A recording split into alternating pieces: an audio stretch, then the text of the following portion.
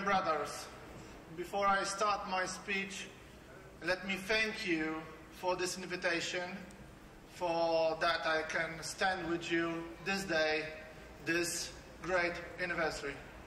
And thank you especially for the atmosphere, for the atmosphere of uh, singing and dancing into the fight. This is the atmosphere that we in Poland like and appreciate. Thank you. Witajcie węgierscy przyjaciele. Witaj niezłomny Budapeszcie. Dobrze jest znów być z wami. Jestem z wami tak, jak byliśmy razem wielokrotnie w ciągu naszej historii. Byliśmy razem pod sowiecką okupacją w 1956 roku.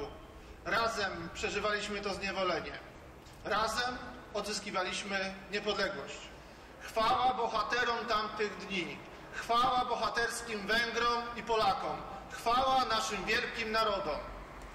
Przyjaciele, dziś również musimy wspólnie walczyć. Walka o wolność ludzi i narodów, o nasze narodowe tradycje, o naszą tożsamość i o naszą przyszłość trwa.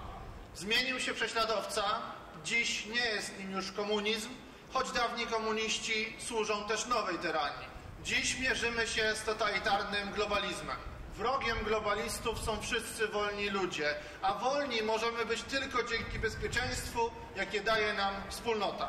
Wspólnota rodziny, wspólnota narodu, wspólnota naszego państwa narodowego. Liberalizm, uderzając w te wspólnoty, ubóstwiając egoizm jednostki, czyni człowieka całkowicie samotnym i bezbronnym.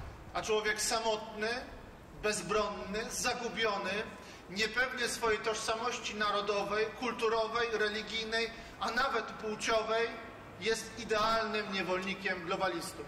Korporacje medialne, korporacje big tech, czy dziś bardzo agresywnie działające w kryzysie covidowym korporacje big pharma, nie robią dzisiaj tylko interesów. One również szerzą tę zgubną ideologię. Globalne korporacje są współczesnymi odpowiednikami dawnych partii komunistycznych.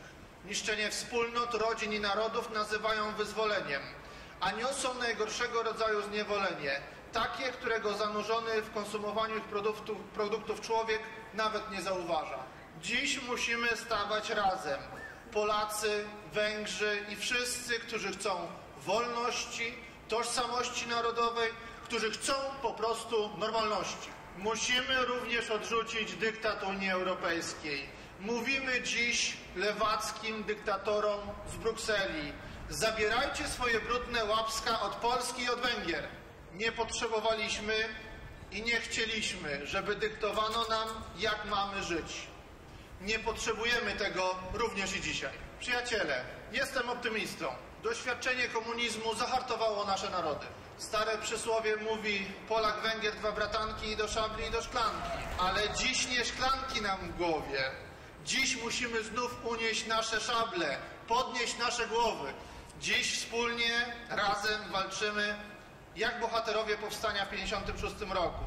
O tożsamość naszych narodów, niepodległość państw, wolność rodzin. Boże błogosław Węgrom, Boże błogosław Polsce. Köszönöm.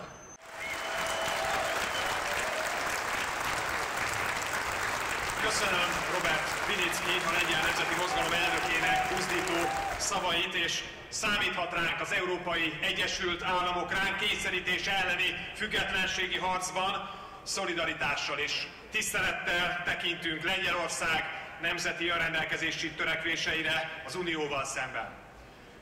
Robert Vinicki pártjának államfő jelöltje tavaly mintegy 7%-ot ért el a lengyelországi választáson. További sok sikert kívánunk nekik!